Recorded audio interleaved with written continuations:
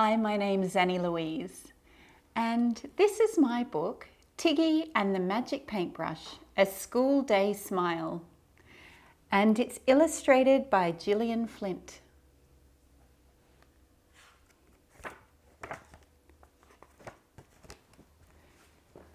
This is Tiggy.